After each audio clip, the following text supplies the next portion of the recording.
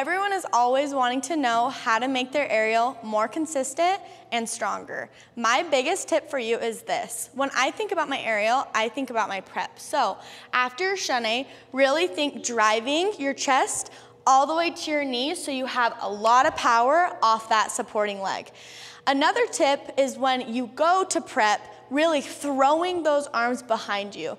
Keeping them here in an aerial is easier for you to want to touch that ground, right? So if you're prepping here or here or wherever you prep, really make sure to throw both of your arms back to make it easier for you to get around. You guys got this.